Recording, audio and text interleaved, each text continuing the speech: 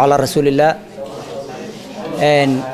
wuxuu daaran yahay saxaafadeedkan. Maanta halkan aanu ku qabanayna annagoo ah dhallinyaradii degmada axmed dhagax.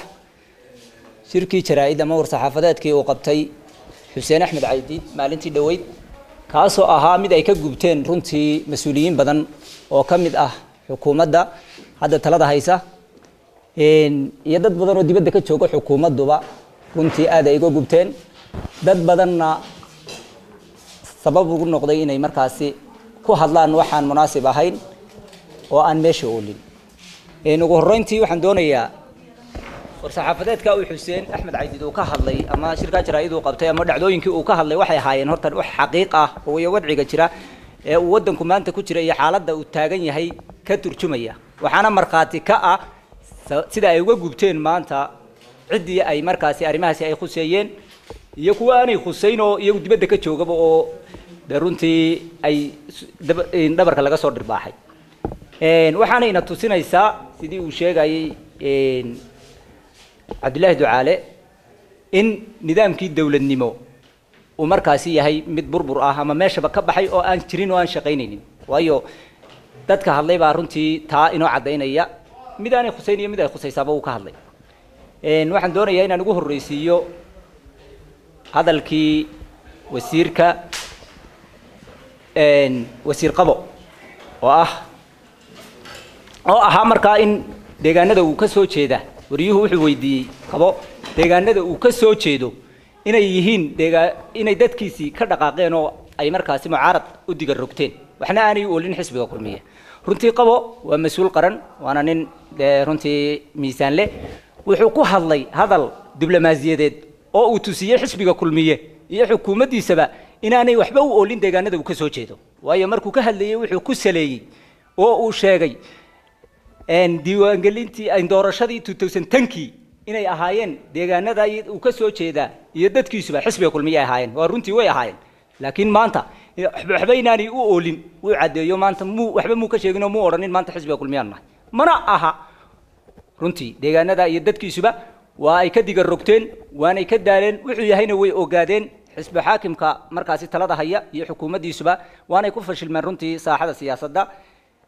Taa isaga intaasaan kaga gudbaya waana u mahad celinaya sidaa fiican uu u jawaabay. Waayo qaba wuxuu ahaa ninkii dee runtii dacwadda ilaa hee gaadhsiiyey ee ka gudbiyey waqtigii xaqsoor xisbiga kulmiye.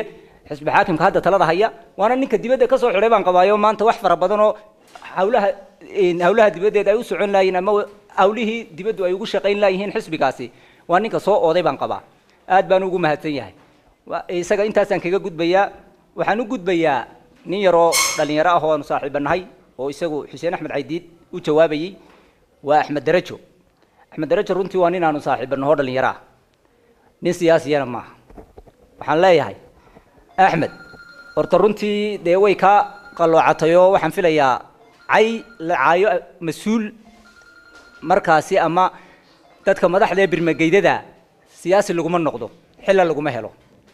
Xukuumadda hadda joogtaana waxaa xil kuma bixiso. Meelahay u nugushay annagaa naqaane hanoo yimaado hana weydiiyo. Hadduu doonayo hunguri ka hayo bilahaa yare u hadhay in wax lagu maamuuso ama wax loo dhiibo waddadu u mari lahaa way ka qalloocatay.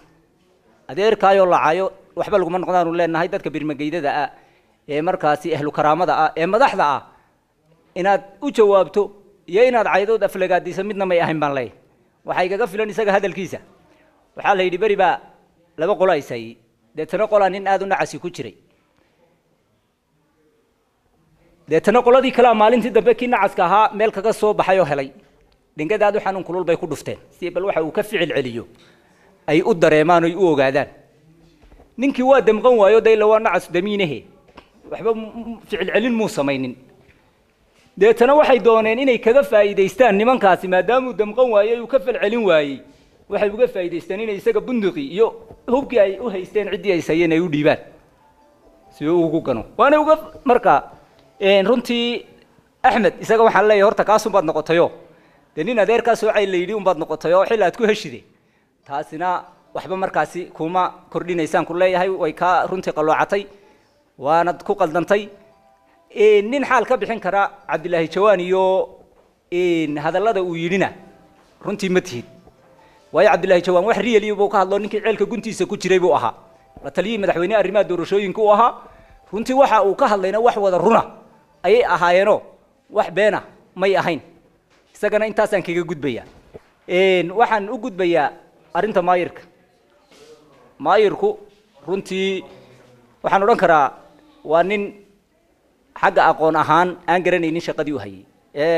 uu ugu igmanaa ama ummadda uu hayay waayo dee runtii mas-uuliyaddii uu hayay baa cid gaari ay adeegsanaysa oo ay danay khaasa loogu fushanaya taasi aqoon la-aan bay ka tahay waxaa mar labaad aqoon darraa inuu hadlo oo uu ka jawaabo oo xaqdaro aqoon darra ay ku kaliftay waayo xuseen axmed caydiid wax runa buu ka hadlay cid gaara buu u shaqaynayay maayirku hudheel buu waddo u banaynayey wuxuu ku afgobaadsaday damdamiskaan u banaynayay damdamiska waxaanu leenahay in badan buu jiray maanta may ahayn maalintaad odhan lahayd waddaan u banaynaya inaad laakiin meelo kale soo yar marmartaabay ahaydoo aad boodhka isku soo yar qarisaa si badheedha ayaa dee hawshaa u gashayo taa iyadu fallaadhi gelgelasho kaagama godo xaaje nimaan aqoonina indhuhu ka ridaabaan maayirka leeyahay nin professionaale ma tiidoo runtii shaqadiisa si cad u garanaye adiga waxba badan kugu tiigaali mayna baan leeyahay runtii haddaanu waxaan xisbi xaakimka iyo xukuumaddiisaba u sheegaya haddaanu nahay dadka degmada axmed dhagax iyo deegaanada gobolka hawd saaxil oodweyne ilaa burco wax codahoo ay naga filanayaan iyo wax taageeroon u haynaa midna ma jirto taa hal kor iyo hoosba waanu u leenahay waanaanu caddaynaynaa wasalaamu calaykum waraxmat ullahi wabarakaatu raxiim shirkan jaraa'ideen maanta halkan ku qabanay wuxuu daaran yahay niman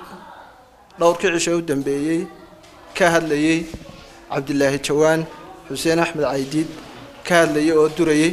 Waxa weeyaan nimankaa xuseen axmed caydiid iyo cabdilaahi jawaan.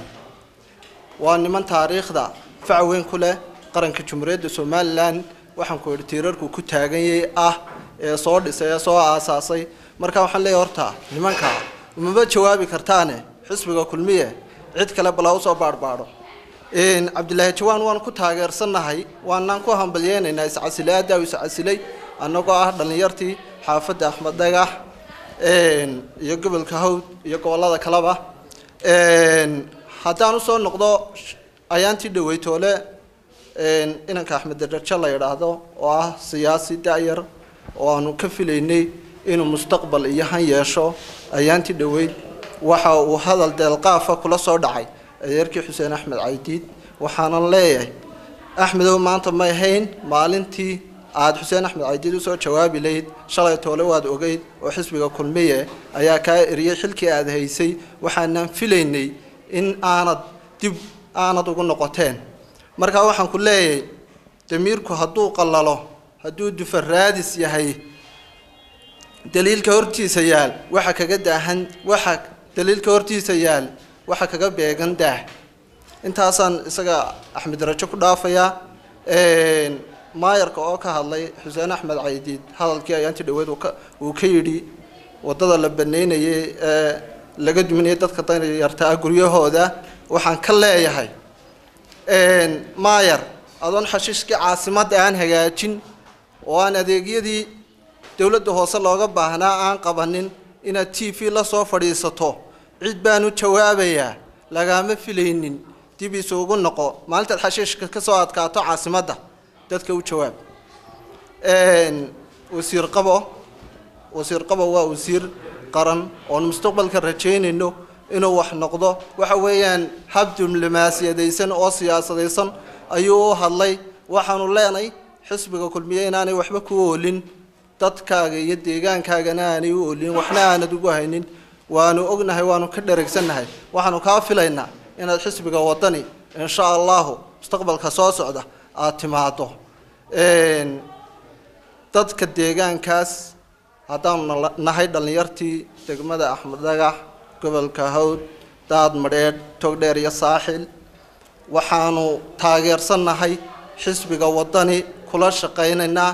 Guddoomiye cabdiqaadir jirde ayaanu dhisaynaa garbaha qabanaynaa taageeraynaa mustaqbalka. Halkaasaanu ku dambaynaynaa assalaamu calaykum waraxmat ullaahi wabarakaatu bismi illaahi raxmaan raxiim waxaan waxaan ku dari lahaa. Horta waa mid mid waxaan odhan lahaa. Ninka la idhaahdo axmed darajo axmed waxaan odhan lahaa horta axmedow siyaasaddu way simbiraxo badantay. Een kolle waxaa tahay nin saaxada siyaasadda ku cusub taasi waad keentay markaa inaad maxay aad kolba dhinac ugu dhex galgalato ama aad ku simbirraxooto. Waxaana kuu sheegaya horta waxaa nasiib darro een inaad maxay ahayd toy rag siyaasiyiina taariikh ahaan iyo magac ahaan iyo siyaasad ahaan intaba kaaga waaya aragsan. Horta inaad aflagaadiiso cabdilaahi xaaji cumar iyo xuseen axmed caydiid. Waa laba siyaasiyo waaweyn waa laba nin oo taariikh kule somalilan waa laba nin oo la yaqaano waxaan u malinaya axmed oo waqtigay siyaasadda ku jireen ama ay talinayeen inaan iskuulkaba aan lagu qorin. Een hortaas waa nasiib darro. Inaad waxyaabo aan maxay tahay aanay geyin aada ugu jawaabto. Waxaanan odhan lahaa de siyaasina laguma noqdo xilla laguma helo. In madaxda kaa waaweyn ee kaa sharafta badan ee kaa waaya aragsan ee kaa muctarifsan maxay tahay in la xagaagto ama la caayo taa taasaan ku dhaafaya. Ta kale waxaan odhan lahaa xisbul xaakimka een waxa dhacay in nidaamkii dowladnimo uu meesha ka baxay.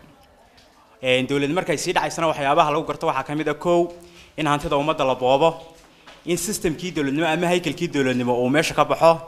Waad arkaysaanoo sixir bararka dhacay in suuqyadii la xidhay in maxay tahay hantidii ummadda la boobayo in maxay haytay wax kasta oo nidaamka dowladnimo maxay haytay ka hor imanaya in xisbiga ama xukuumadda kulmiya ay maxay maanta ay kula kacday shacabkeedii iyo ummaddii iyo dadkii ay talada u haysay een waxaan odhan lahaa qodobkii uu ka dhawaajiyey cabdilaahi xaaji cumar la taliyihii hore ee madaxweynaha komishinka doorashooyinka ee ahaa komishinka horta mustambeed waxaa nasiib darraa.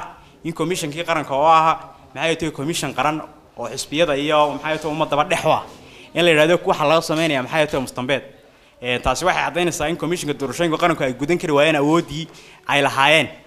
Een waxaana cad inaanay diyaar u ahayn inay doorasho xor iyo xalaala inay u qabtaan ummadda